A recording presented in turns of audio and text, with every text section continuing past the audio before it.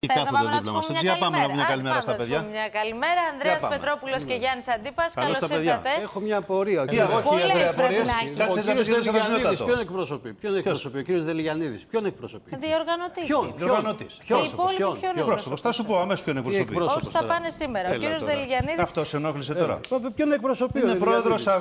Πρόεδρος, α- Τι είναι πρόεδρος; Επιτροπή Αγώνας για τη Μακεδονία και Τι πρόεδρος της επιτροπή; Άννη Και εγώ είμαι Μαρβάτσου. ε, Επιτροπή Αγώνα Γλυφάδας για τα. Ε, Γιατί δεν κάνεις Ματσαλάκια. ένα Κάνεις και εσύ μια συλλαλητήριο. συλλαλητήρια. Κάνει Σοβαρά ένα συλλαλητήριο. Σοβαρά κι εσύ, μιλάμε ρε. Θα τώρα. ήταν καλή ιδέα. Σοβαρά Θα μιλάμε. ήταν καλή ιδέα. Τι Ο λες, Ανδρέας Γιάννη; θα κάνει Είναι μια συγκέντρωση δυνατόν. στο Σύνταγμα; Γιατί σε ενοχλούν τα Υπέρ- συλλαλητήρια, υπέρ της Αντρέα. συμφωνίας. Ποια συλλαλητήρια, ρε παιδιά; Πέντε- 300 άτομα περιφέρονται στη Θεσσαλονίκη Δεν κάθε είναι μέρα 300 τώρα. άτομα, αλλά μιλάς άτομα απαξιωτικά είναι. για τους Έλα ανθρώπους. τώρα. Εντάξει. Κάτσε. Τι είναι αυτά τα Ανδρέα. πράγματα. Αφήστε να πάμε σε διάλειμμα. Περίμενα Να να πάμε πάμε. σε διαφημίσεις και ερχόμαστε για να τα πούμε με την ησυχία μας.